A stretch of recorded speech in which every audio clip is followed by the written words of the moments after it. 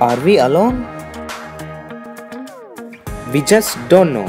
We know life exists on Earth, but what about elsewhere in the universe? Most astronomers believe in extraterrestrial life. We just haven't found it yet.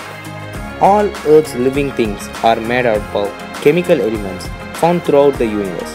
So, it would be extraordinary if some form of life hadn't developed elsewhere. Life in solar system. Earth.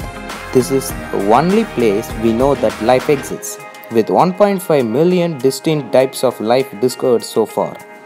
Mars. Microscopic life may have developed here when Mars was young.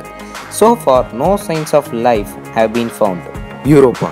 This moon of Jupiter has an icy surface. Underneath, it is a liquid water ocean that may be heaven for life.